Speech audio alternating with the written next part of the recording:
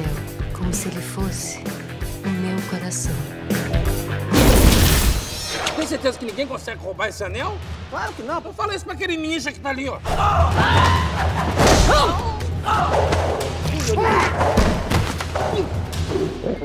Leva é fundo, não! O que aconteceu aqui? Cadê o anel? Fui o ninja!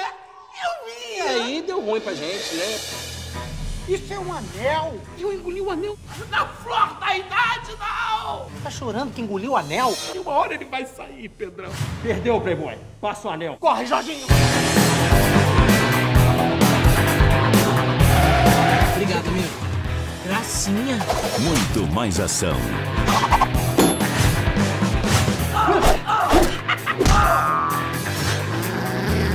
Adão? Erraram aí no teu nome, tá mais pra Eva, menina.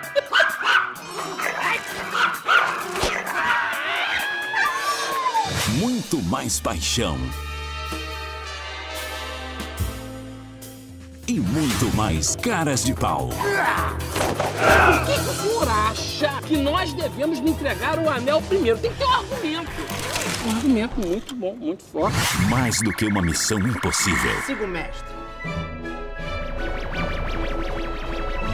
Pedrão, vambora. Em nome de Deus!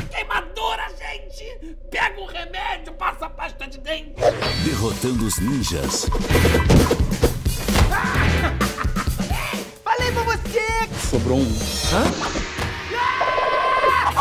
Derrotando a máfia. Manuel Capone! Carne, osso, bafo de bacalhau!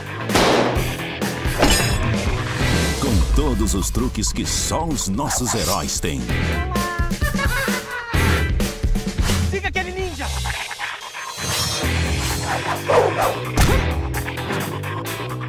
Marquei tua cara, hein?